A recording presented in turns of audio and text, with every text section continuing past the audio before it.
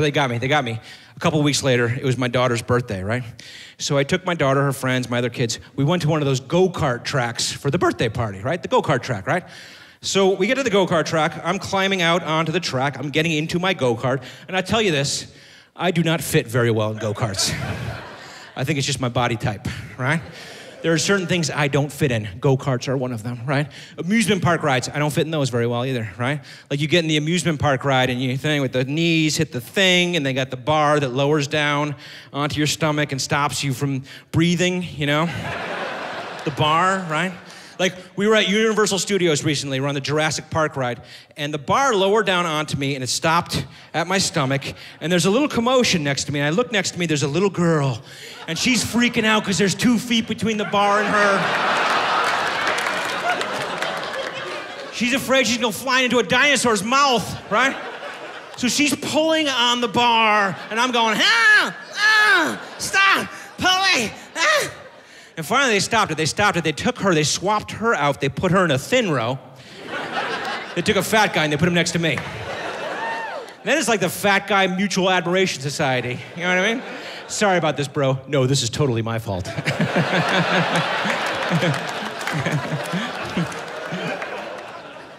beer drinker? Yeah, big beer drinker. Yeah.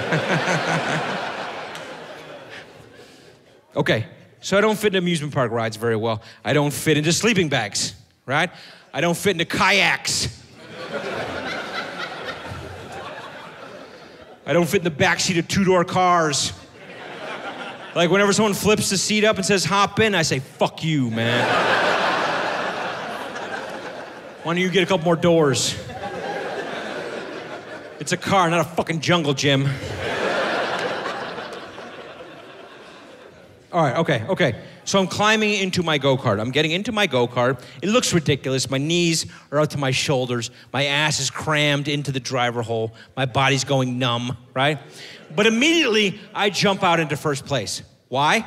Because unlike these little spazzes, I have a driver's license, right? Okay, so I'm in first place and I'm making laps around. I'm making laps. And I come around for a lap, and as I do, I spot something on the track. There's something on the track. I get a little closer, it turns out it's a cell phone, face down on the track, right? And so I drive past it and I say, What sad fucking bastard dropped his cell phone on the go kart track? And I blow past it, right? So I get halfway around and I think to myself, Wait a minute. Am I that sad fucking bastard? And I realized as I crammed my ass into the driver hole, my phone squirted out of my pocket like toothpaste and that's my fucking cell phone. It's on the track. I gotta pick it up before it gets fucked up, right? But I don't wanna stop and pick it up. Why?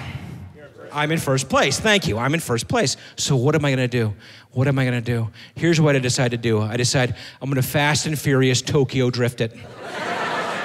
I'm going to fast and furious Tokyo drift it. I'm going to go as fast as I can. I'm going to lean out of my car. I'm going to speed up and I'm going to scoop my phone. I'm going to scoop it and keep flying, right? Okay. So I'm approaching my phone. I'm leaning out of the car. I'm fast and furious. Tokyo drifting is glorious. I'm going like 19 miles an hour. I got a vision of myself, right? I'm bald, white tank top muscles. Michelle Rodriguez is in the car with me. Ludacris is saying funny ass shit on my headset. Okay, I approach the phone and I reach for the phone, and my arm hits the ground. I miss the phone, and my watch goes flying off.